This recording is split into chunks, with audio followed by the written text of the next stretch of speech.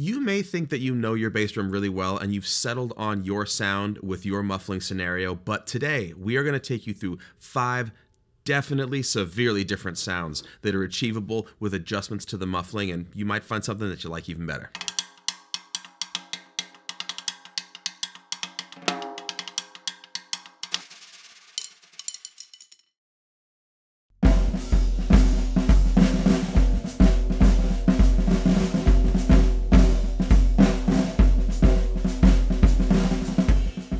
First thing that we want to say up front is that this is a purchase-free experiment today. We're going to use things that we found around the house. We're not putting on special drum heads or doing anything dramatic other than moving through some options for muffling to really stretch the limits of what this drum is capable of. For those of you out there that are feeling quite attached to the way that you set up your bass drum, both in tuning and in muffling, this is the video for you.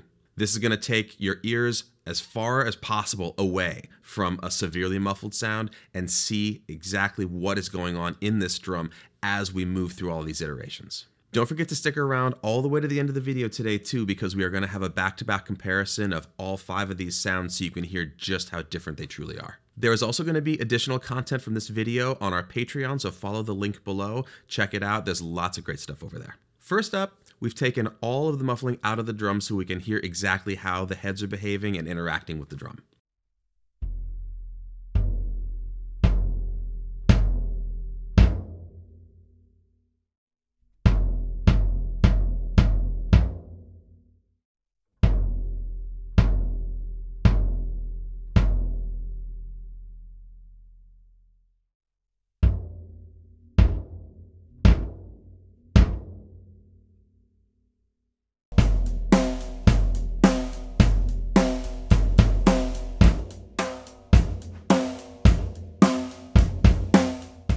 This is a very wild sound. There's a lot of sustain, a lot of overtones present.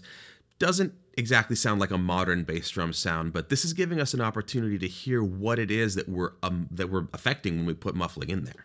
For today's demonstration, we chose to go with a single ply, in this case a coated G1 batter on the bass drum because we want to hear as much as possible. The good, the bad, the ugly, everything in between. So this is an unmuffled batter head versus what we often use like an EMAD or an EQ4 or something like that.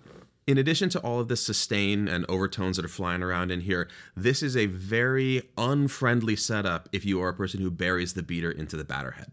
This makes sense because there's a lot of resonance, the heads are moving a lot, and if we had a pillow or something like that in there, we wouldn't have to worry about that. This is an opportunity also for practicing keeping the beater off of the head and utilizing the rebound because with no muffling, we're getting the most of that.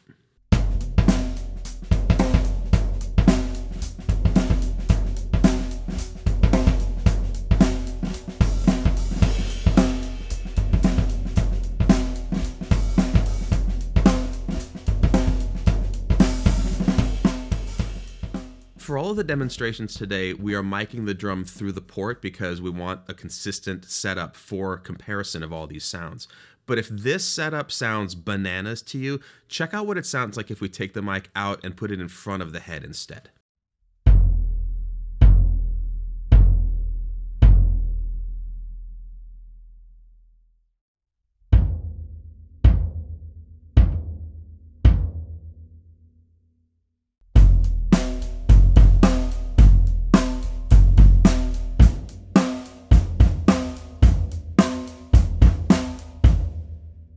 This is a lot more tone. This is the way that we would mic a bass drum normally if it didn't have a port, just in front of the head like that. And before we move on to any of the other setups that we're going to do today, we want to offer a little audio of each of these heads individually so you can hear the sort of range that they're tuned in.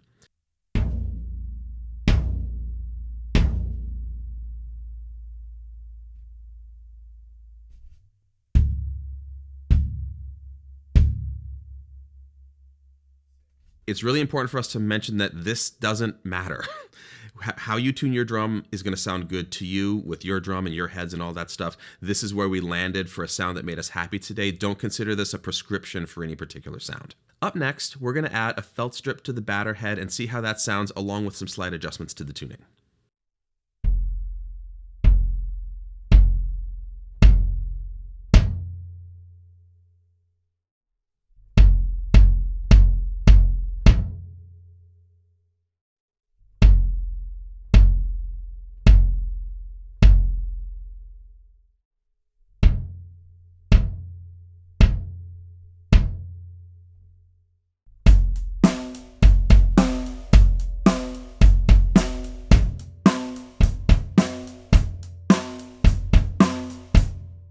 A lot of us out there think that felt strips are for jazz because surely for me that's the first place that I saw them and I think that's fairly common because it's a sort of tone that works in that kind of music and goes with the tradition.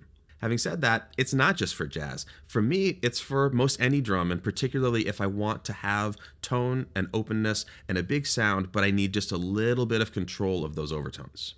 The other thing that this affords us is the option to tune the batter head a little bit lower than we could get away with with the fully wide open sound. We have a previous video that goes deep on both the tuning and adjustments of setting up a felt strip sound, so go ahead and check that out if you want to learn more.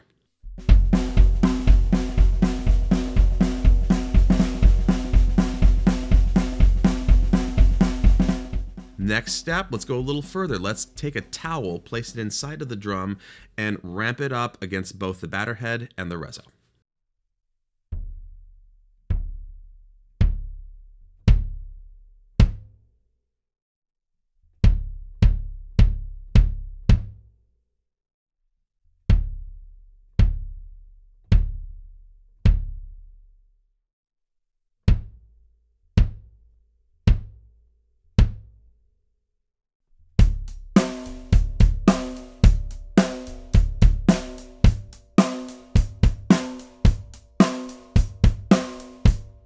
This is my, or I should say, closest to my normal setup if I'm just putting together a bass drum that I want to have be versatile and usable in a lot of situations. What this is giving us now is more control of both of the heads, a little bit less sustain, but at the same time, it's not so much muffling that we're getting into the realm of the whole dynamic range sounding the same. If I play softly off of the head, I get more of the sub part of the sound and it sounds nice and warm. It's good for feathering, but at the same time, if I play harder and maybe even bury the beater, it still sounds beautiful all the way up at the top of the range. This is also a plenty loud sound, particularly with a single ply batter head. It's got a lot of attack, and for me, sits in a band mix or sits in my practicing in the way that I want.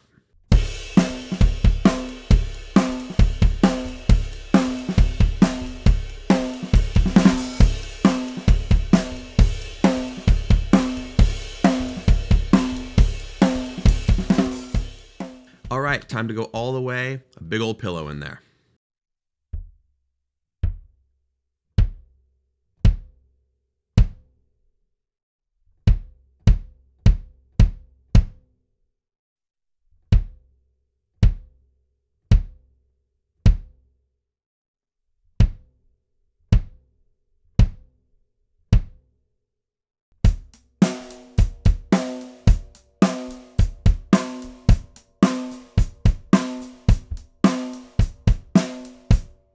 This, for us, sounds exactly like we would expect. It's very punchy, it's got fatness to it, it's a very short sound. It's really, really similar sounding from the low dynamic up to the really loud stuff. And basically, I mean, to be blunt, it's kind of one note. It does this thing and it does it really, really well. Now, it's important to note that this does differ from our normal pillow setup here when we're making the rest of our videos because we have swapped out our normal EMAD for this coated G1. The feel is a little bit different, the volume is a little bit different, but the more important thing to mention is that anytime you change a variable, you're changing everything. So using the same pillow and reso as we always do, but swapping out the batter head is actually giving us a whole new feel and changing the character of the drum pretty dramatically. Before anybody gets concerned that we are saying that this is not a valid sound, again, we must stress that these are all valid sounds and there is an appropriate time for all of them. So if you love a big pillow in there, that is totally great.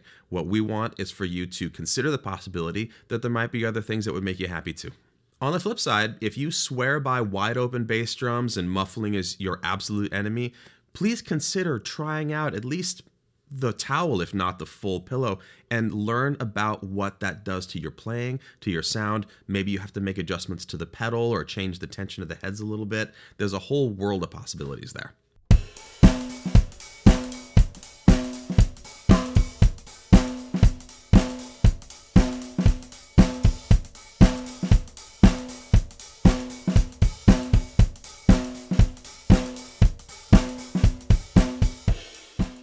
We have one more. This is the wild card. We are going all the way back to no muffling, and we're also going to take the resonant head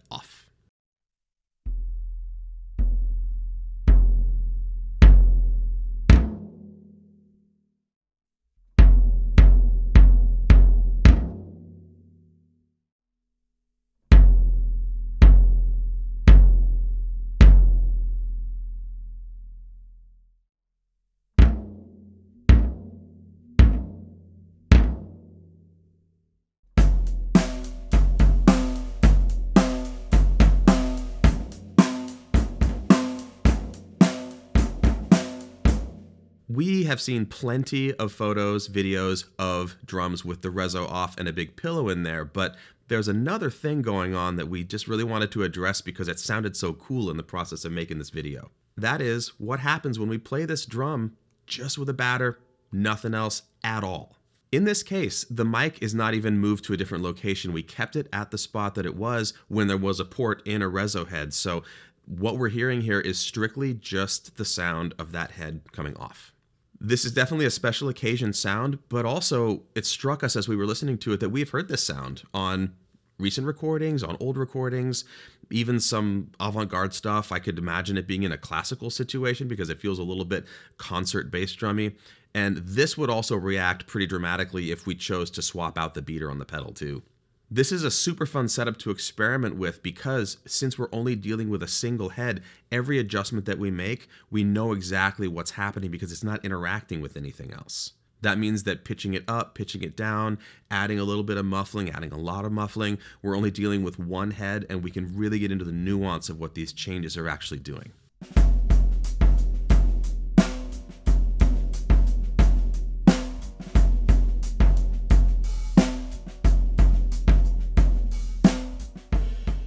We've explored five really different sounds here that each have their own setup to achieve that sound, but bear in mind also that these are not single pillared things that live in a vacuum. These are much more like a tree with branches coming off of it, where each one of these setups can be adjusted in little ways to get a really different sound or something just slightly different if you need to massage it towards something that gets you what you're looking for.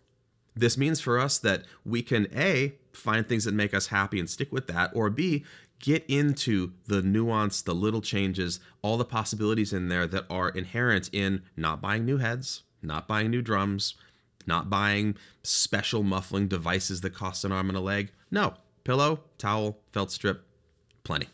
All right, we've made it. It's time for the back to back comparison of all of these sounds.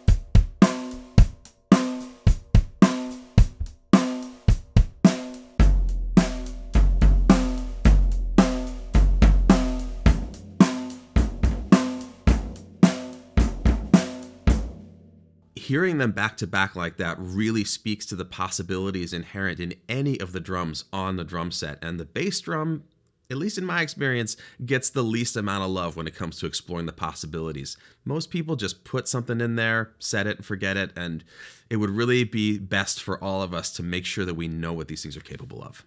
Also, it bears repeating that we did not change out the head. Same batter head, the whole time, got all of those sounds, albeit with minor tuning adjustments to make sure that things are working well together, which is part of exploring. And we found sounds in this drum today that we've never heard, and we've been playing this drum for a long time.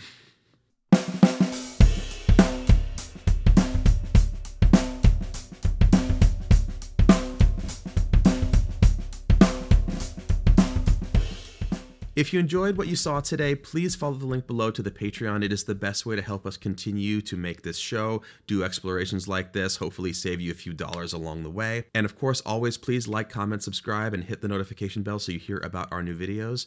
Lastly, we would love to know about your explorations of muffling. Did you get away from something you were used to? Did you find something that worked better for you? Tell us all of it.